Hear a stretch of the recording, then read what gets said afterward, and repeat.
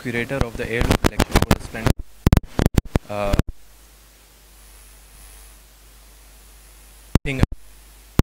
associated with this uh, collection. I have actually been seeing uh, in the market these days.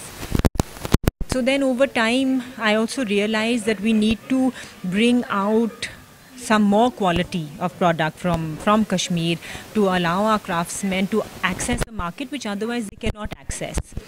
And so this collection is one that I personally curate. I look through all the pieces and the ones which I feel are exceptional that are, cannot be found otherwise now.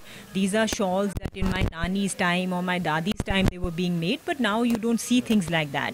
Or then they're very different. Maybe the color combinations are something special, the embroidery may be something special, and then those shawls I put aside, and those are a part of my collection.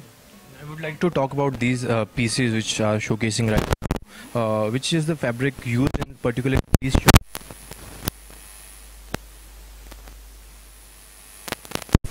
anything like that. It's all pure pashmina. You see, it's very difficult for anybody um, just with the naked eye to be able to see a shawl and say, is this pashmina? Is it mixed with silk? Is it mixed with anything like that? One can't tell. And what people do is they feel it. They not, yes, this must be pashmina That is not the case. उसमें silk भी mix कर I can tell you that this is uh, pure pashmina.